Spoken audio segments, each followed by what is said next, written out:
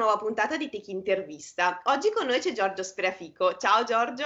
Ciao Marzia. E benvenuto nella nostra rubrica. Ben ritrovata, grazie. Giorgio oggi ci parlerà di un volume che ha scritto e che è stato pubblicato appunto con noi che si chiama L'uomo delle parole incrociate, eh, che è una storia veramente molto interessante. Allora Giorgio, L'uomo delle parole incrociate racconta una storia che veramente pochi conoscono ed è quella di Giuseppe Roldi e tu hai deciso di ricostruire questa storia tramite un'indagine molto accurata. Quindi raccontaci un po' chi era questo personaggio eh, che è stato a lungo dimenticato. Sì, molto volentieri. Hai detto molto bene che questa storia la conoscono molto pochi, probabilmente nessuno la conosce o meglio la conosceva prima che questo libro fosse scritto, semplicemente perché di questa figura si è avuta notizia. Da tempo, di tanto in tanto, ricorre il suo nome, però lo si ritrova mh, scritto da qualche parte in 3, 4, 5 righe, pubblicò il gioco delle parole incrociate, niente di più. Questa cosa mi ha sempre molto incuriosito, cioè chi ci fosse dietro queste cinque righe, ho appunto deciso di andare a scoprire, e questo signore era un impiegato comunale del comune di Lecco, lui in realtà era eh, nato e abitava a Castello, che adesso è un quartiere di Lecco, ma al tempo era un comune a sé stante, come molti altri rioni della città di oggi erano comuni a quel tempo. Stiamo parlando della seconda metà dell'Ottocento. Lui era figlio di un uh, artigiano del ferro di Castello, appunto, che però aveva deviato rispetto alla strada apparentemente segnata del mestiere di famiglia, era diventato un dipendente del comune. Il comune di Lecco che allora era nell'attuale piazza da 20 settembre, che allora si chiamava Piazza del Mercato, e stava nel fabbricato che esiste ancora proprio accanto alla Torre Viscontea, che allora era adibita a prigione. Era una figura molto particolare, molto eclettica, perché abbinava la sua condizione lavorativa, diciamo, di travè, per usare questa espressione, di impiegato, quindi era impiegato all'anagrafe del comune, quindi sui libroni, registrava le nascite, le morti, i matrimoni, queste cose e si occupava anche della gestione dei messi comunali che dovevano portare provvedimenti, eh, cose di vario genere, però questo diciamo apparente grigiore di, esistenza, di una condizione lavorativa abbinava una molteplicità di interessi in tutt'altra direzione, in un campo artistico, creativo. Era un amante della bellezza, era innamorato della musica, era anche abbastanza competente di musica, amava il teatro, era anche un filo drammatico e poi aveva questo amore sconfinato e incontenibile per questa arte dei giochi, i giochi costruiti con le parole, gli enigmi, si chiamava allora l'arte di Edipo con un riferimento all'episodio mitologico di Edipo e della Sfinge che sulla strada per Tebe interrogava.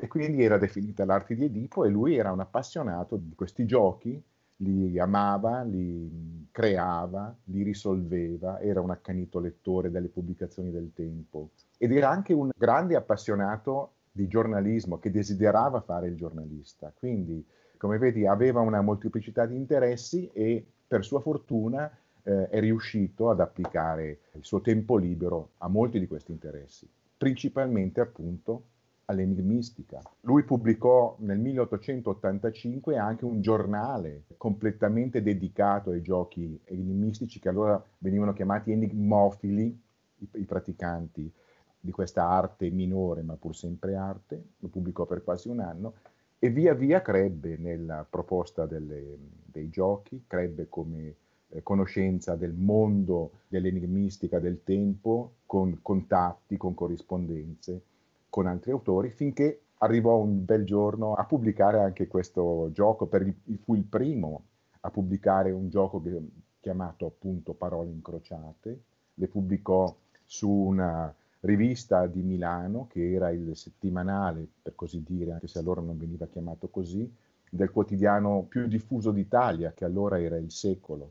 E lì sopra pubblicò appunto questo primo gioco con definizioni orizzontali e verticali, lo pubblicò in modo anonimo, senza firmarlo la prima volta, poi lo pubblicò con uno pseudonimo, che era innominato, il personaggio manzoniano, ma lui lo usava tagliato in due, inno e minato, e poi lo pubblicò ancora in forma anonima, lo pubblicò per un po' e poi scomparve. Il gioco non ebbe successo, lui fu dimenticato. Il suo destino è stato un po' questo, di essere una figura comparsa come un lampo e poi scomparsa, della quale nessuno si è mai più occupato certo. per molto tempo. Nel libro ci sono diversi giochi, comunque diverse sciarade. Io ricordo che quando tu ce l'hai portato, che l'ho letto la prima volta, mi sono un po' divertita e sono stata anche messa un po' in crisi da alcuni di questi giochi perché erano un po' complicati. Tu nel tuo lavoro di ricerca ti sei anche divertito a fare questi stato, giochi?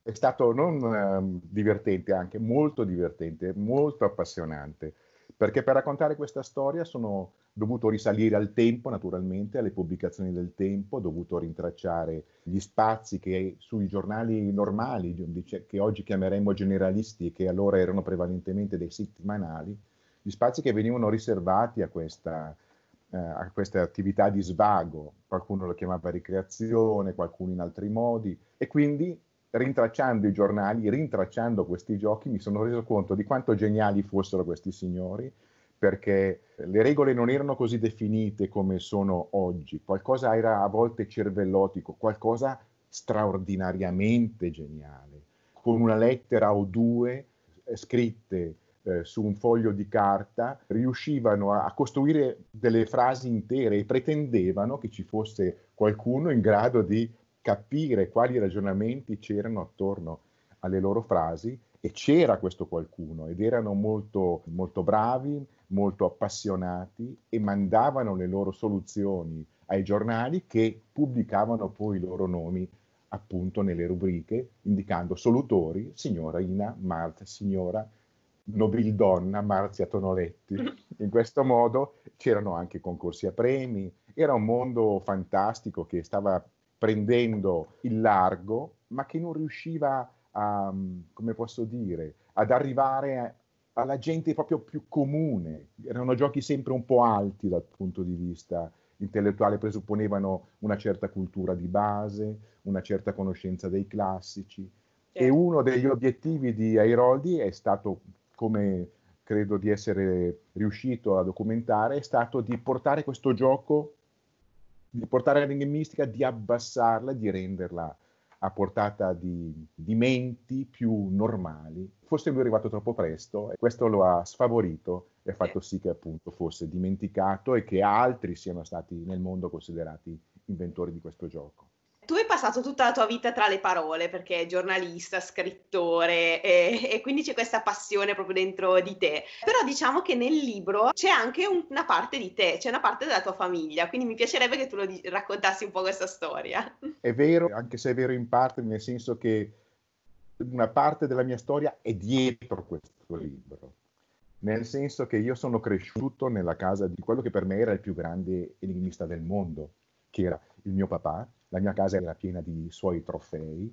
Lui è stato il più grande, posso dirlo perché è una questione storica, quindi non mi imbarazza, anzi sono molto orgoglioso di poterlo eh. dire. Lui è stato il più grande campione dell'enigmistica italiana e probabilmente una delle figure nella sua stagione più, più brillanti dal punto di vista della capacità eh, di mh, risolvere e di proporre giochi. Quindi io ho sempre visto il mio papà, che si chiamava Luigi, e che come pseudonimo aveva SL.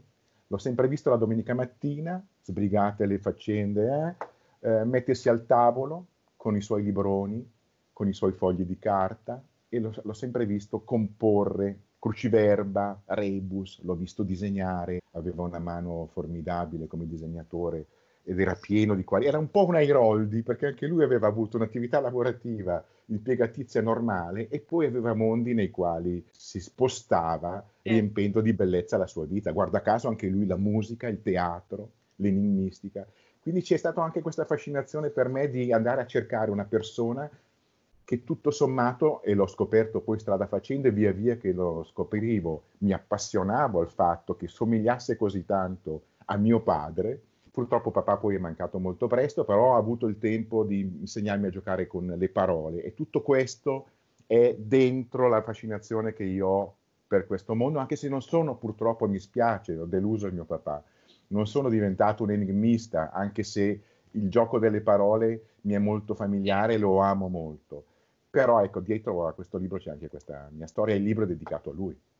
Certo.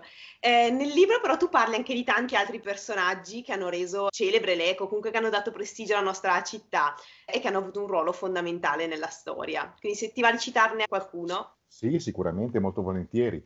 La persona più importante all'interno di questo libro, più importante perché io credo, spero, che il suo spirito eh, si colga in tutte le pagine di questo libro, perché il suo spirito le percorre ne, ne percorre tantissime, è Antonio Ghislanzoni, una figura purtroppo un po' dimenticata, Lecco. Ha un, un, piccolo monumento lì al lungolago, si parla di lui molto poco, anche se c'è una via dedicata a lui. È stato un poeta, è stato un giornalista, è stato un librettista d'opera soprattutto. No? La Ida di Verdi, per citare il caso che, che viene citato quando si parla di Ghislanzoni, è scritta su un suo libretto ma per dirti a Lecco abbiamo avuto situazioni concertistiche nelle quali si sono proposte situazioni della Ida, non è mai stato fatto il suo nome. Questo per dirti come purtroppo abbiamo delle situazioni da recuperare dal punto di vista della memoria.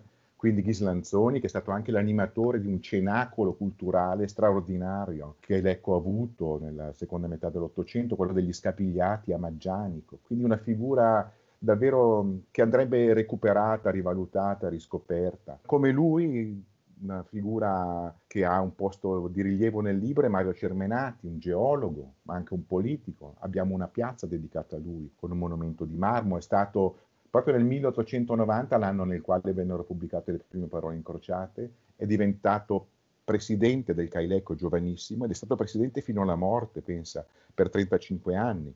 Quindi ha accompagnato tutta la stagione della crescita dell'alpinismo lecchese, ma poi anche altre figure che non erano lecchesi doc, ma che a Lecco hanno avuto una storia importante. Penso a Conchielli, per esempio, che il compositore Amilcare Conchielli, che ha, ha, abitato per lunghe stagioni della primavera, dell'estate a Lecco, a Maggianico, proprio perché a Maggianico c'era questa presenza di artisti, di musicisti, c'è una sua villa, ma anche Carlos Gomez, un altro compositore, la sua villa è stata ristrutturata, è sede della scuola musicale lecchese.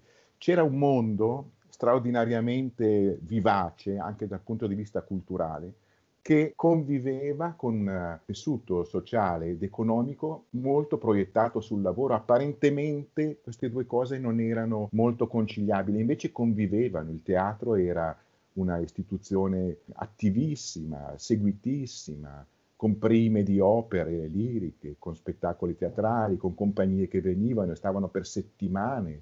Una stagione molto bella della nostra storia, purtroppo un po' trascurata e abbandonata. Certo.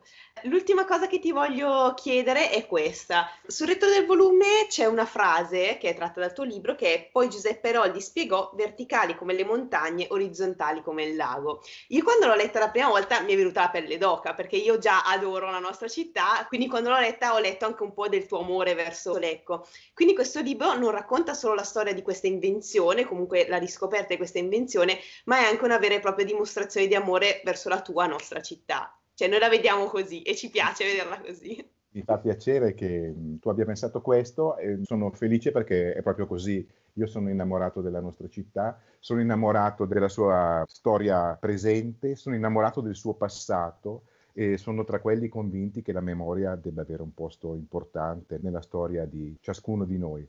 Quella frase è una frase di invenzione, perché il libro è un romanzo basato su una documentazione storica solidissima, ma a parti di raccordo tra i fatti storici che sono di fiction. Quindi c'erano dei puntini, li ho collegati come appunto nel gioco che si trova.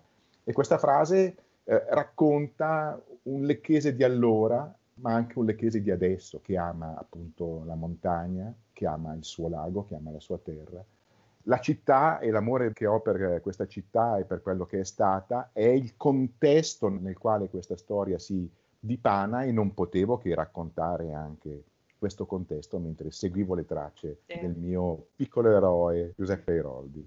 Va bene, ringraziamo tantissimo Giorgio Sperfico per grazie il tempo a te, Marzia. e grazie a tutti. Buona giornata, grazie. Buona giornata.